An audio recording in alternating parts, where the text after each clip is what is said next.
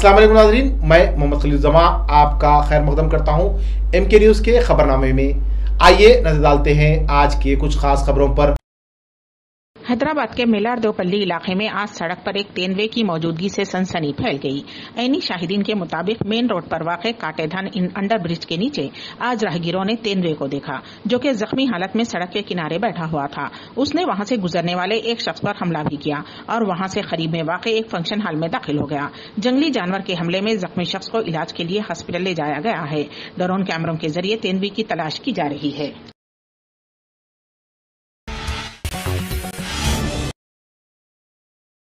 Vande Bharat mission के तहत अंदरून छह यौम एयर इंडिया और एयर इंडिया एक्सप्रेस की तिरयालीस परवाजों के ज़रिए मजमुई तौर पर 8,503 हिंदुस्तानी शहरियों को वतन वापस लाया गया है। सरकार ने इस महीने की सात तारीख को वंदे भारत मिशन शुरू किया था। एयर इंडिया अपनी जेडी कंपनी एयर इंडिया एक्सप्रेस के साथ मिलकर बारह मुल्कों के लिए चौसठ परवाजें चला रही है। उनमें अमरीका बरतानिया Bangladesh Singapore Saudi Arab Kuwait Philippines और मलेशिया शामिल हैं। पहले मरहले में चौदह भारतीय शहरियों को वापस लाया जाएगा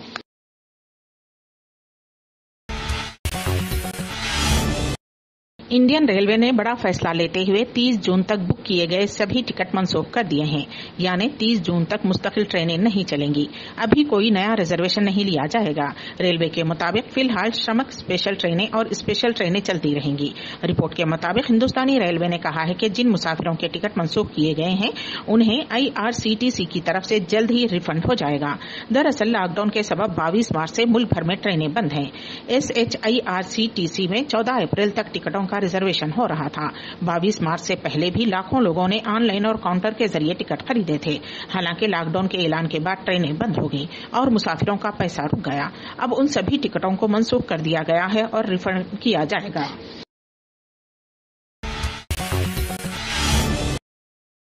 वज़ीर खजाना निर्मला सीतारामन ने कहा है कि महाजिर मजदूरों के लिए तीन कदम सभी महाजिर मजदूरों को दो माह तक मुफ़्त अनाज, कार्ड होल्डर्स को गेहूँ, चावल पहले ही मिलता है। पहले के ऐलान वैसे ही चलते रहेंगे, लेकिन जिनके पास राशन कार्ड मौजूद नहीं है, उन्हें पाँच किलो चावल और एक किलो चना दिया जाएगा। रियासतें ये मदद मजदूरों तक पहुंचाएगी। उन्होंने कहा कि महाजिर मजदूरों और शहरी गरीबों के लिए प्रधानमंत्री आवास के तहत जल्द ही रेंटल हाउसिंग स्कीम लाई जाएगी। निर्मला सीतारामन ने कहा कि इस स्कीम के लिए गरीबों को कम किराए में रहने के लिए लिए घर मिलेगा। निर्मला सीतारामन ने कहा कि किसी भी रियासत का राशन कार्ड दिखाकर कहीं भी राशन कार्ड लिया जा सकेगा। सरकार जल्द ही एक मुल्क एक राशन कार्ड स्कीम लाने जा रही है। वज़ीर ममलिकती बराय खजाना अनुराग ठाकुर ने कहा कि रेहड़ी पटरी, ठेला वाले लोगों के लिए पाँच हज़ार करोड़ की सहूलत डिजिटल अदायगी करने वालों को इनाम दिया जाएगा। इसमें पचास लाख लोगों को फ़ायदा मिलेगा। अनुराग ठाकुर ने कहा कि सभी मजदूरों को तकर्री के खत भी दिए जाएँगे।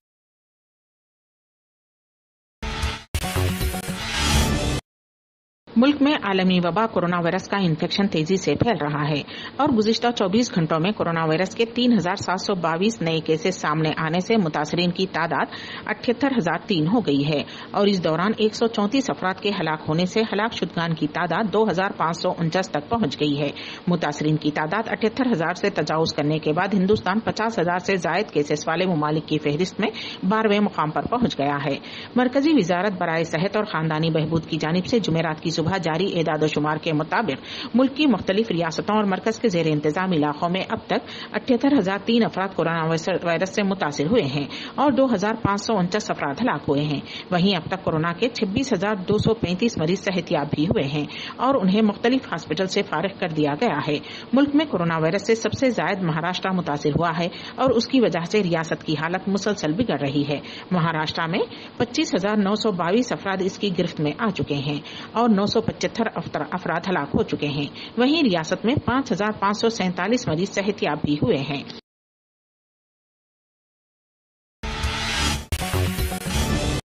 कौमी सदर अंबेडकर नेशनल कांग्रेस अल्लाह नवाब मोहम्मद काजम अली खान साहब ने महाराष्ट्र के अंबेडकर नेशनल कांग्रेस के सदर मोइन इनामदार को हिदायत दी है कि वो औरंगाबाद में पेश आए ट्रेन हादसे में फौत पंद्रह अफराद की तफसीलात हासिल करें और पुलिस से अपील की गई है कि वो पंचनामा और एफआईआर की कापी दें ताकि अंबेडकर नेशनल कांग्रेस की जानब से मुतवफियों के अफराद खानदान को फ़ी कस एक लाख रुपये अदा किए जाएँ। दुनिया के कुछ ही महीनों में कोरोना वायरस का टीका दस्तियाब कराने के ऐलान के बाद अब आलमी सेहत तंजीम ने दुनिया भर के मुल्कों के लिए इंतबा जारी किया है कि उन्हें ऐसे हालात के लिए भी तैयार रहना चाहिए, जिसमें ये इन्फेक्शन कभी खत्म ही ना हो। आलमी सेहत तंजीम ने वाजह किया है कि हो सकता है कि कोविड नाइन्टीन कभी खत्म ही ना हो और दुनिया को उसके साथ ही जीने की आदत डालनी पड़े। डब्ल्यूएचओ के हंगामी मामलों के डायरेक्टर माइकल रियान ने जेनेवा में एक वर्चुअल प्रेस कॉन्फ्रेंस में कहा कि कोरोना हमारे दरमियान इस तरह के एक वायरस में तब्दील हो सकता है, जो दूसरों से हटकर हो और मुमकिन है कि ये कभी खत्म ही ना हो। उन्होंने एचआईवी की मिसाल देते हुए कहा कि ये वायरस भी खत्म नहीं हुआ है।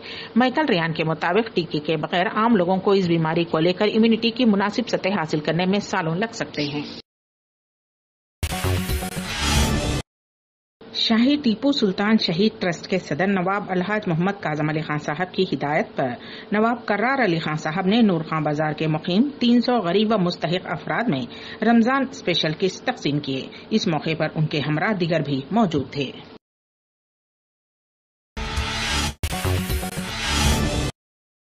हैदराबाद के गोलकुंडा इलाके के रहने वाले अफराद ने आज उस वक्त राहत की सांस ली, जब उन्हें पता चला कि रात उनके इलाके में घूमने वाला काला तेंदुआ नहीं, बल्कि जंगली बिल्ली थी।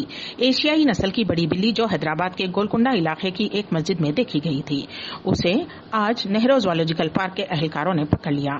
ये बिल्ली गोलकुंडे के फतेह दरवाज़ा इलाके की नूरानी मस्जिद में नज़र आई, जिसके बाद इलाके में सनसनी फैल गई थी। इस खबर के आम होते ही नेहरू जोलॉजिकल पार्क की एंटी पोचिंग टीम वहाँ पहुँची, जिसने इस बड़ी बिल्ली को पकड़ लिया। कल शब तकरीबन दो ता तीन बजे के दरमियान मुकामी अफराद ने इस बिल्ली को मस्जिद की दीवार पर चढ़ते हुए देखा। इस सिलसिले में जू के अहदेदारों ने कहा कि मस्जिद की मीनार पर यह बिल्ली देखी गई थी। चूँकि ये बिल्ली काली थी, इसीलिए मुकामी अफराद ने इसको तेंदवा समझा। उन्होंने कहा कि इस इत्तला के बाद सुबह साढ़े चार बजे उसको बचाने की कार्रवाई शुरू की गई, जिसका अख्ताम सुबह साढ़े नौ बजे हुआ। सोशल मीडिया पर इस ताल्लुक से तस्वीर को वायरल करते हुए इस बिल्ली को काला तेंदवा करार दिया जा रहा है, जबकि तेलंगाना में काला तेंदवा नहीं पाया जाता।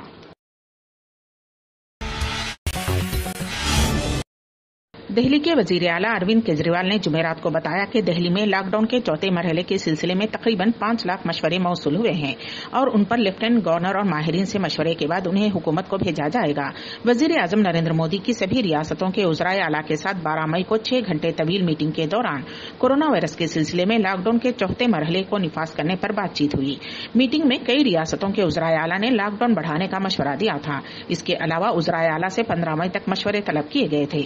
उसके बाद केजरीवाल ने तेरह मई तक दिल्ली के लोगों से मशवरे तलब किए थे कि वो लॉकडाउन के चौथे मरहले में क्या रियायत चाहते हैं। लॉकडाउन का चौथा मरहला सत्रह मई को खत्म हो रहा है।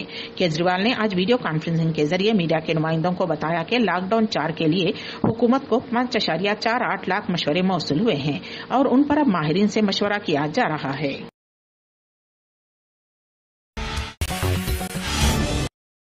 मध्य प्रदेश के ज़िले गन्ना के करीब बाईपास हाईवे पर बस और कंटेनर की टक्कर की वजह से आठ मजदूरों की मौत वाकई हो गई और पचास से ज़्यादा जख्मी हो गए।